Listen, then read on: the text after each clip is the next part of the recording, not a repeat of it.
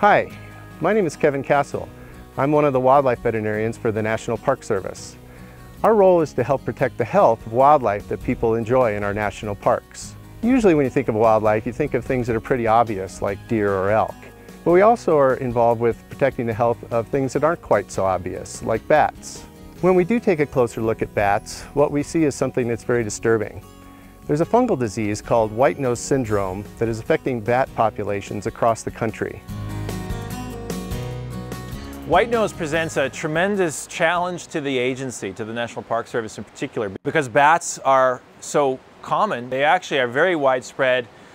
They show up in buildings and in bridges. They're in natural structures like caves. The Park Service really cares about bats, um, not just because of their importance as far as ecosystem services, but their importance as far as species that we're mandated to take care of, to steward for next generations.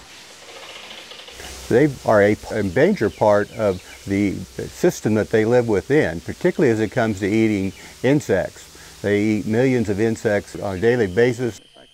These are free pest control service that, that farmers are benefiting from all over the continent. Without those bats, the cost to agriculture could be really substantial.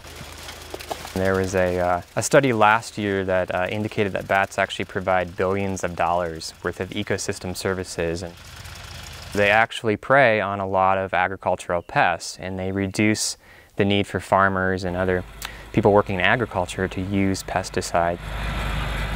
Bats are just amazing animals and there's nothing else like them on Earth. Here in this covered bridge we've got bats roosting up in the rafters there, uh, squeaking away. You might be able to hear them. Just uh, one of many examples of how versatile bats are and how they can take advantage of, of many kinds of features, including those that, that we provide them. So bats have such an important role in the ecosystem for so many reasons, and not just natural, but cultural as well, that it is our job, it is part of our stewardship responsibilities to make sure that bats are here for future generations. The very mission of the Park Service is to preserve and protect and then provide for enjoyment. So we, we're supposed to take care of the resources that are here in the park, but also help people understand them and appreciate them uh, and learn about them.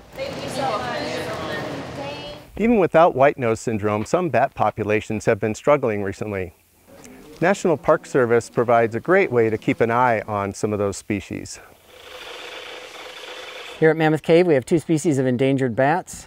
One species is the gray bat and the other is the Indiana bat. It's particularly important as them being threatened and endangered species that we uh, protect those particular species. National Park Service has over 300 park units that are scattered across the country widely uh, representing different kinds of habitats, different species of bats, different um, hibernacula types and environments.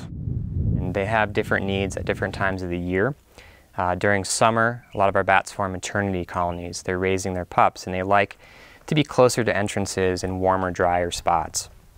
In the winter, when they transition to hibernation, they need areas that are deeper and colder so they can drop their body temperatures and remain in torpor. And so there's a whole different set of caves in our park that they can choose to, to meet those particular needs. These animals are, are worth saving, they're worth fighting for. They're really an important part of our collective natural resource heritage in this country. Bats are obviously important parts of ecosystems and they need our protection. In the next part of the series, we'll investigate this emerging threat, white nose syndrome.